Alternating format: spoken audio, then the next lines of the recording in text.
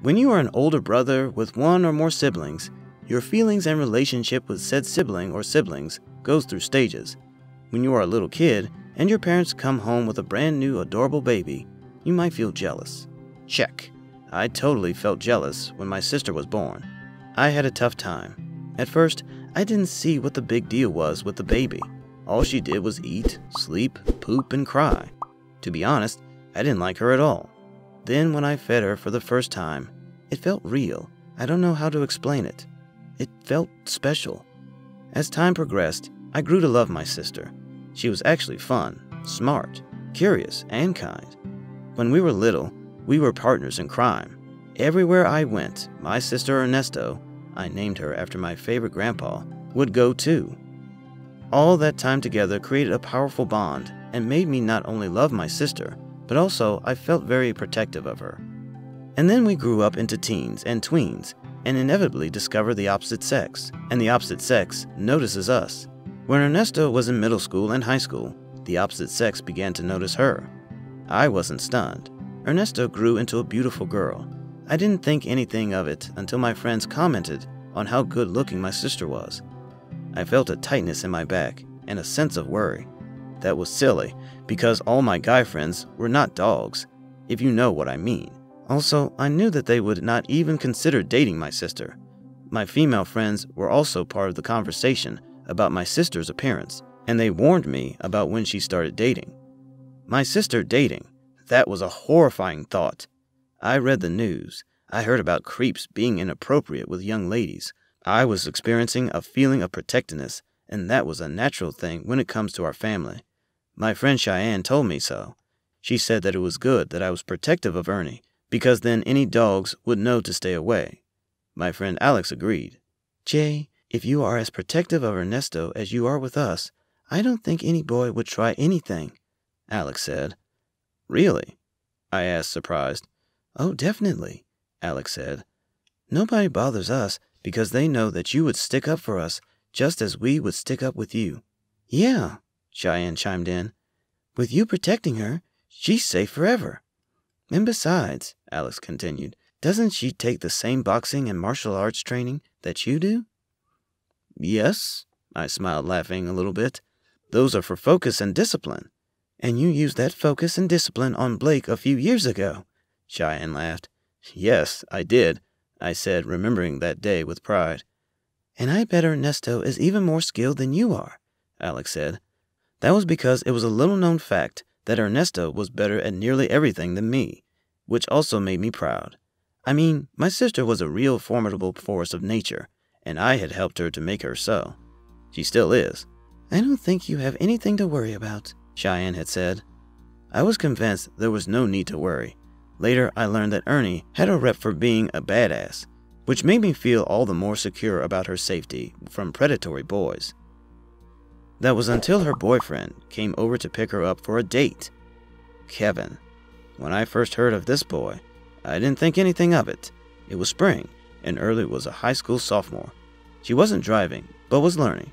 I heard her mention this boy's name often in the form of Kevin says that, or OMG, Kevin said the funniest thing today. The more she spoke of this clever, funny boy with long eyelashes, the more I began to get that protective feeling. I was concerned. It was clear that she liked this boy. I mean, she couldn't go five minutes without talking about him. I was sure she and her friends called him McDreamy, or one of the other silly nicknames that girls assign to people, but Ernie was not the nickname sort of girl. Who was this guy? Whatever, I was sure she would get bored with his company sooner or later. But she didn't bore of his company at all. Instead, she would have one of our parents drop her off at the movies the mall, the skate park, all to spend time with this boy. They ate lunch together at school. They ate pizza together during study sessions. They hung out at least one day a weekend. Oh, and they were always on the phone. When her phone privileges were announced to be in danger, I thought Ernesto's head would explode. I had never seen her like this. She always only used the phone to make plans with her friends. Ernie was rarely on her phone, talking for long periods. I worried about this boy. Who was he? Did he know that Ernesto's life now appeared to revolve around him? Would he break her heart? I contemplated a visit to Mr. Green, who was still the biology teacher at my old high school, to see if I could catch a glimpse of this dreamy, funny, witty, long eyelash having mystery boy. I could just follow him around and observe. It would be like I was stalking or spying. I just wanted to make sure that he was a decent guy, and possibly to scowl at him menacingly.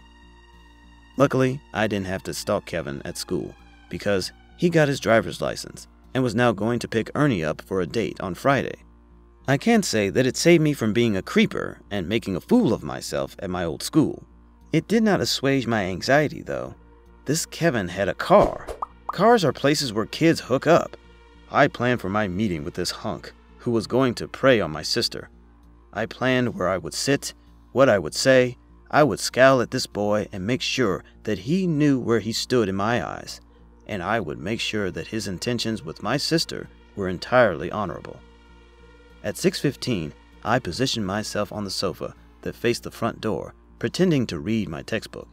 I wore clothes that made me look bigger. I also put my book about venomous snakes next to me, open to a page featuring a shiny picture of an eyelash pit viper and one of the damages that the snake's bite creates. Good, I thought. This little turd Kevin will be terrified. I smiled and waited, and then the knock at the door came. Come on in, I called, not moving from my seat. Thanks, said the boy, who was walking through the open door. I'm Kevin. He offered his hand to shake. He didn't look like a perv who would prey on my sister. He looked like a nerd, like me. He was tall, with curly red hair and freckles. He had pale green eyes. His eyelashes were pretty impressive. I wondered if he used some sort of lengthener or something. What are you reading? Kevin asked cheerfully with genuine interest. I'm reading about venomous snakes, I said, smiling what I thought was a menacing smile. I'm a bio major and will be working in the rainforest. I have learned nearly everything I could know about venom. Hint, hint, hint. Read. I will find a venomous snake and make it bite you, causing necrotizing fasciitis, among other things. I prepared for a stuttering, fearful response. It didn't come. Cool. I'm really interested in herpetology. Kevin smiled. I'm going to major in biology when I go to college. Hey, maybe you could give me pointers. Ernie said that you are interested in ornithology. Birds are my other favorite critters to study. I was shocked. Kevin was a nerd, just like me. He even liked birds. This couldn't be the same Kevin. This guy was cool. When Ernie came down the stairs to greet him, she looked over at my open snake book, and she hugged Kevin. She squinted her eyes at me, giving me the look. Kevin sat down next to me as my parents came into the living room. More hands were shaken, greetings were exchanged, Mom offered drinks. Kevin accepted a soda. As we sat around talking, I learned that Kevin had just received his license and was saving for a car. He worked at a wildlife rehab that his father ran. I learned that he was interested in herpetology, ornithology, conservation, journalism, and saving the world. Throughout the conversation, both my parents commented several times, You remind us so much of Jay, and Ernesto saying that's what she thought when she first met him. After Ernesto and Kevin left for their date, I felt better. I was confident Kevin was a good guy. How silly I was for thinking that my sister, who was always right about everything, would like any guy who was not a decent guy. I also liked the fact that Ernie liked someone who reminded her of me. I liked the idea that I was a model to her of what she wanted in a boy. That made me feel very proud. It still does. Hey, thank you for watching. Please click on the right to subscribe if you like the video. And please don't forget to click on the bell icon when you subscribe so that you can be notified when we upload a new video. Watch more videos on the left, including our playlist. Thank you.